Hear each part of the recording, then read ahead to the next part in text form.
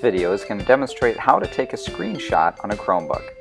On a Chromebook, you can take a screenshot of the entire screen, and you can also take a screenshot of a selection of the screen as well.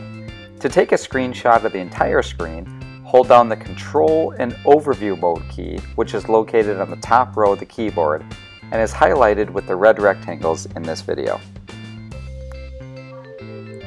After you take the screenshot, a notification box will pop up in the lower right hand corner of the screen. It will give you two options, to click to view it and to copy to the clipboard. If you click on copy to the clipboard, the image will be copied onto your clipboard of your computer and you'll be able to insert it right into a document, presentation, or other item. If you click on click to view, then it opens up the Files app on your Chromebook which is where all of your screenshots will be saved by default. If you need to get back to the Downloads folder at a different time, in the lower left-hand corner of your Chromebook screen is a little search icon. If you click that, it brings up the Apps Launcher.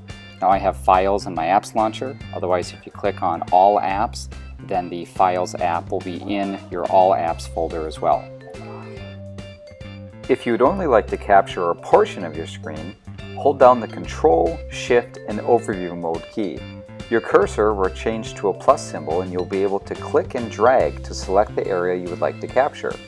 Just like an entire screen screenshot, the notification box will pop up in the lower right corner of the screen, which will allow you to view the screenshot or copy it to the clipboard. For additional features, we recommend adding the extension Snagit. Snagit allows you to take a screenshot and then add annotations such as squares, circles, arrows, and text. Snagit can be added to Chrome by visiting the Chrome Web Store. And as always, if you have any questions, don't hesitate to stop by the Task Team Help Desk.